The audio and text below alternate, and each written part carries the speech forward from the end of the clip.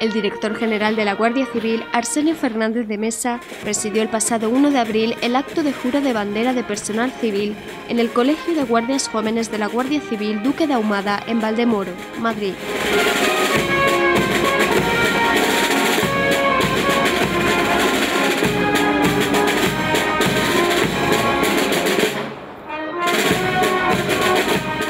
Españoles, juráis o prometéis por vuestra conciencia y honor guardar y hacer guardar la Constitución como norma fundamental del Estado.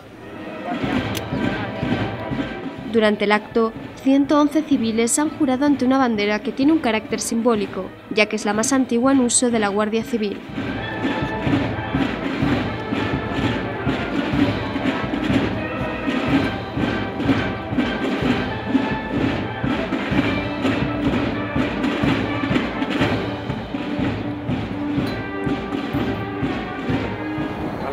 Además, se ha condecorado a varios agentes por el trabajo que realizan diariamente.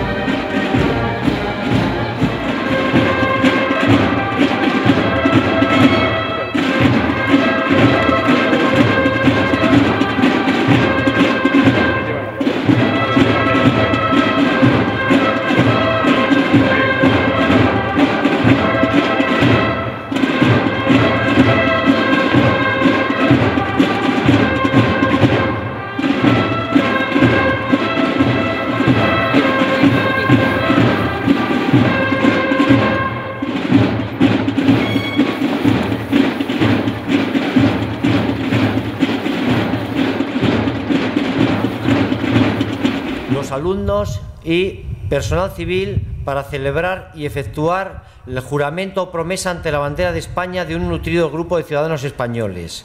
Además, también celebramos el 139 Día del Guardia Joven. Y la fecha elegida no podía ser mejor, ya que tal día como hoy es el aniversario de la creación de la Compañía de Guardias Jóvenes. Es un día especial hoy en esta explanada de Valdemoro.